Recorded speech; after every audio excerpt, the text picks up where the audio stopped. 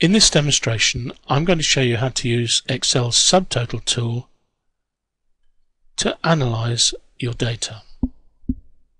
I've got some data here that shows the names and job titles of the employees of a company that has offices in a number of different cities and each office has a number of different departments and we know the salary for each staff member. Now before you use the subtotal tool you need to organize your data and you have to sort it by those columns that you are going to use to subtotal the data. I'm going to subtotal by the office column and the department column so I need to sort the data by those two columns.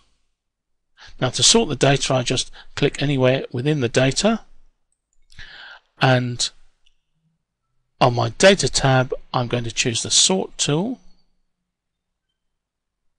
The sort tool's automatically detected that my data has a header row. Do check that Excel has correctly done that. There's a tick there in the box to show that it's detected that. And it's selected the rest of the data. First thing I need to do is to tell it that I want to sort by the office column in A to Z ascending alphabetical order. Then I want to add a level because I then want to sort by the department column again in A to Z order.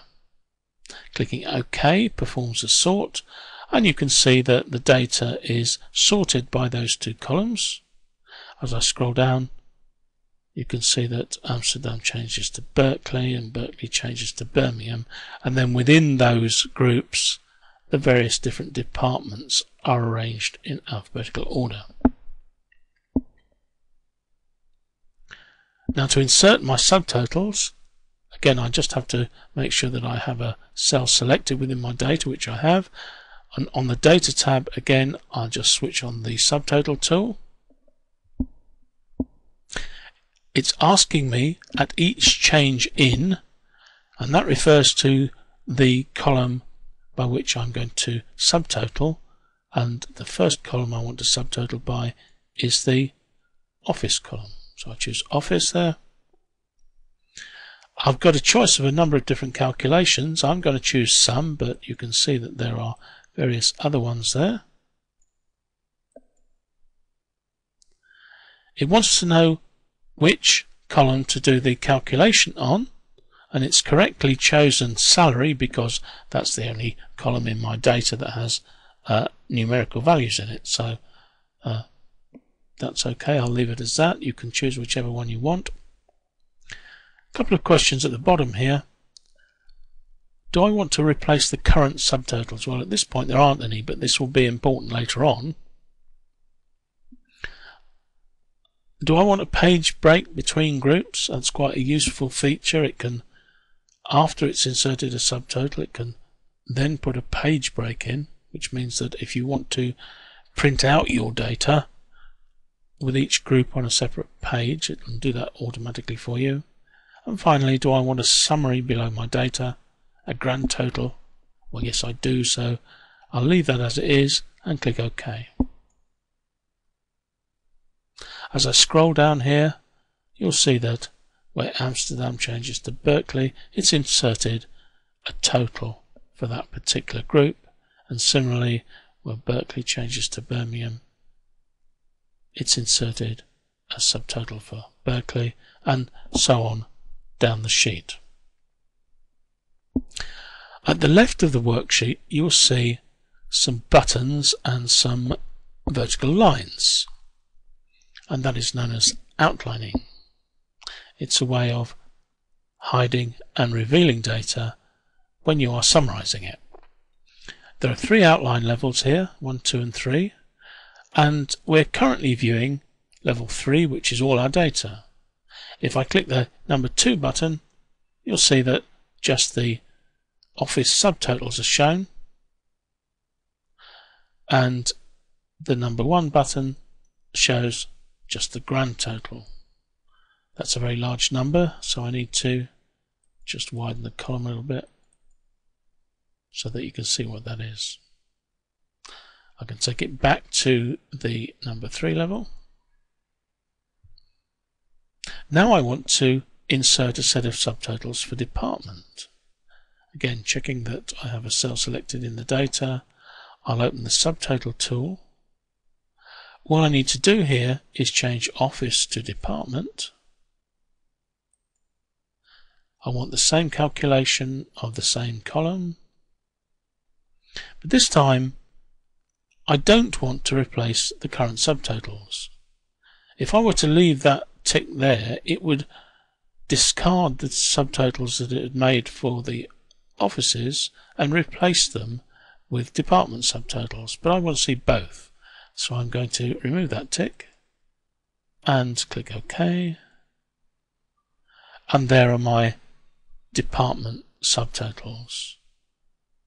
If I scroll down, you'll see that there's a subtotal for each department within each office and it's retained the office subtotals. Over at the left here we now have an additional level of outlining. This time level 4 shows all our details. Level 3 shows the department subtotals. Level 2 shows the office subtotals and level 1 the grand totals. And again, each level can be expanded if you want to see the data that makes up the subtotal. Now something that's quite important to know if you want to maybe copy these subtotals and put them somewhere else is that if you were to just select what you can see and copy it to maybe another worksheet or perhaps a, a, a Word document or an email, when you paste, instead of pasting just what you thought you had copied, it's pasted all the data. And there's a reason for that. I'll just undo here and go back to where we were.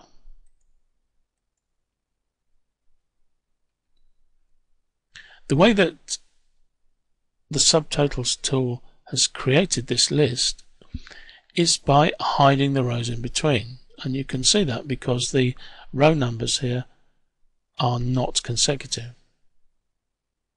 But when you select a block of data like this and copy, you're actually copying the hidden rows. What we need to do is just copy what we can see. And there's an easy way to do that. Select the cells that you can see in the same way, but then go to the Find and Select tool on the Home tab and choose Go to Special. And that dialog box offer offers you visible cells only. Choose that and click OK. Now you can copy and you can see that the dotted lines look very confused here, but that's because it's copying just what you can see. Now when we go to the other sheet, we can paste, and you've pasted what was visible on the other sheet.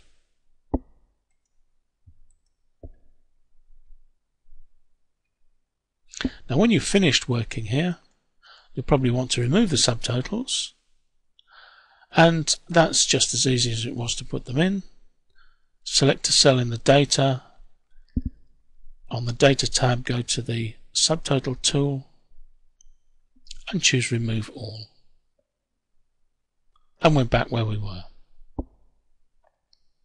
Well, in fact, we're almost back where we were because the data in front of us is now sorted and it wasn't sorted previously. If you want to revert to the way the data was originally, one way to do that is to close without saving and then reopen the file. That's fine as long as you remembered to save before you started doing your subtotaling because otherwise you might lose some work that you've done.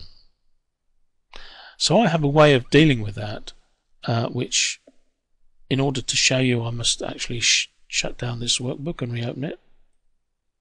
So I'm going to close that without saving. And let's pretend that we hadn't done any of that work.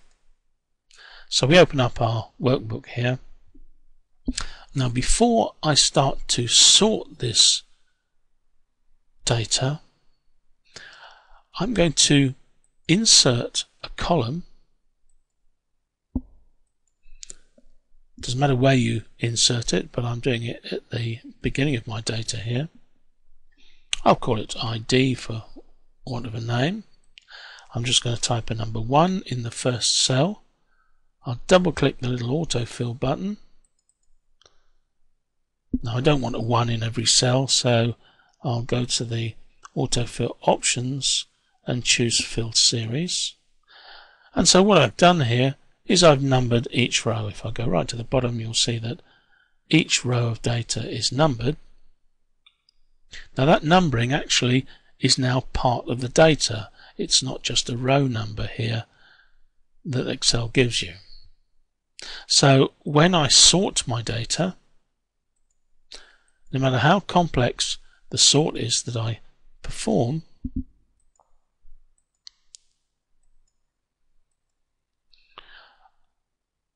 I can always revert back to it by sorting by this column that I inserted here. So you can see the numbers are all jumbled up.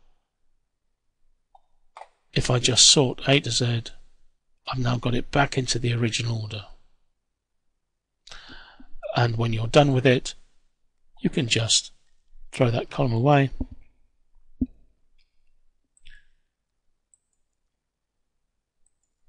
and you haven't lost any of your data. Well, that's the end of this particular demonstration. If you want to see some more of my work, I've got lots of tutorials on Excel, Access and VBA at my website fontstuff.com.